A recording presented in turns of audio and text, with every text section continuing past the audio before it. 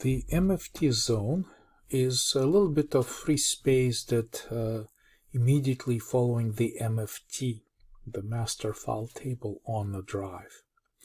So it's important to uh, discuss the functionality of MFT zone and I'd like to begin by uh, um, trying to picture where the master file table itself is located on the drive. So here it tells me that um, we have um, a starting sector here. I'll just press Control C to copy it. Is um, uh, this value, and this is the sector number.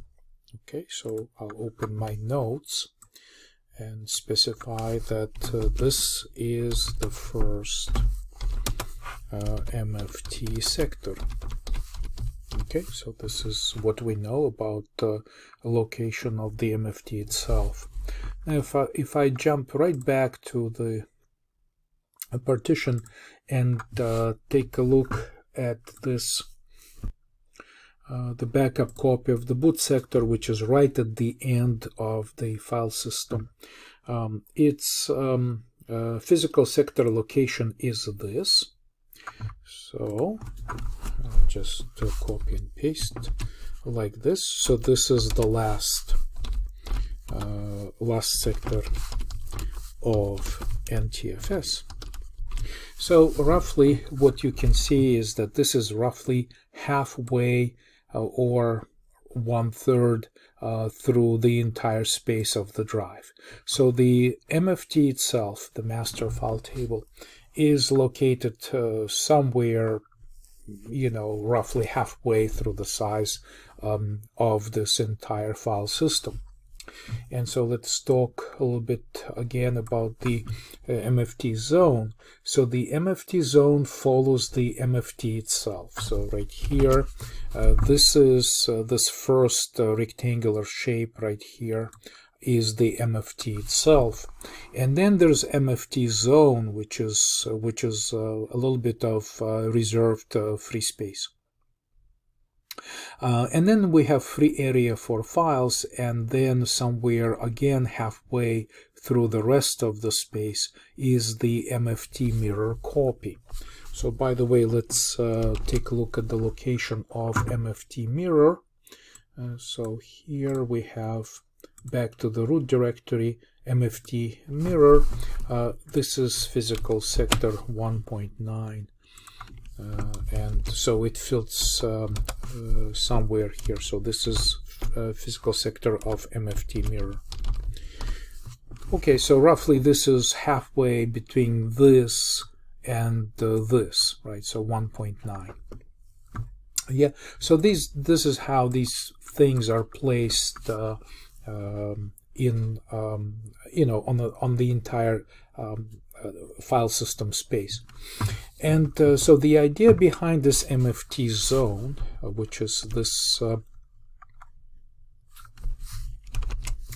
area right here, that it's reserved for master file table to grow. So uh, initially master file table is allocating certain space and not all of its entries are used.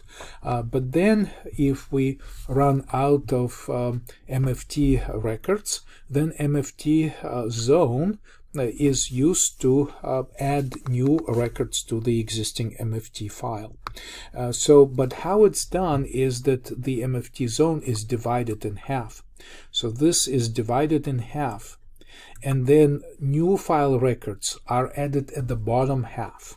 So then the new records are basically start being populated somewhere here.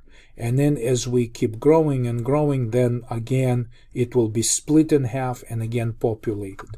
So it's just kind of a fancy way how uh, the file system software uh, is calculating uh, and trying to optimize this process of uh, growing the MFT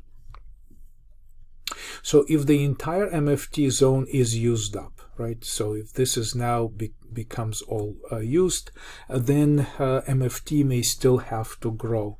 Uh, so there is a possibility that uh, uh, master file table will become a fragmented file. So it will be, you know, so if this is already used, so then it may have uh, its uh, uh, continuity, so the clusters may be allocated somewhere here, and it can become fragmented.